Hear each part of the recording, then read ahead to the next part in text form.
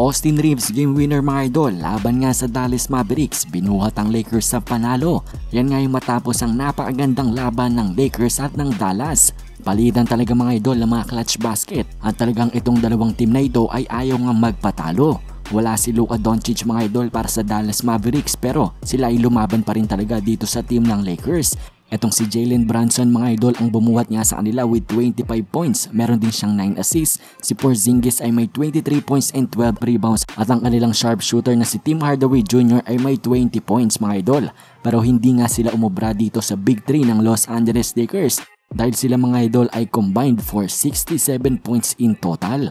Itong si Lebron mga idol, 24 points, 3 rebounds and 5 assists. Si AD, 20 points, 12 rebounds at 2 assists. At si Westbrook mga idol, almost triple-double, 23 points, 10 rebounds and 9 assists. At ang hero ng Los Angeles Lakers sa labang ito na si Austin Reeves mga idol.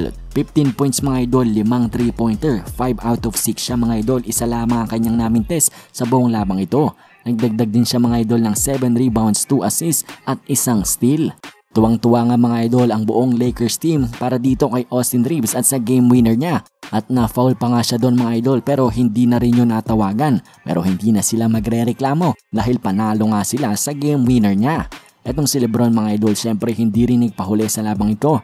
Ginamit ang kanyang secret weapon dito sa Dallas Mavericks. Ayun nga mga idol ay ito. Tingnan nyo.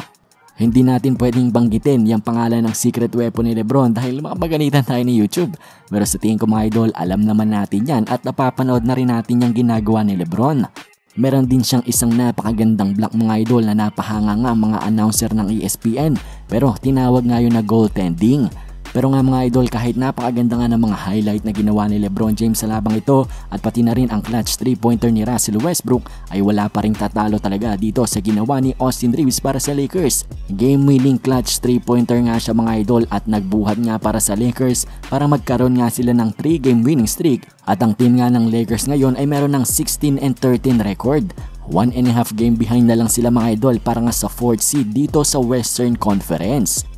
So yan nga mga idol ang nangyari dito sa napakaganda at napakainit na laban ng Dallas Mavericks at ng Los Angeles Lakers. At ayan na nga lamang muna para sa ating mga balitang NBA ngayon. Maraming ang salamat sa inyong panonood. Bye!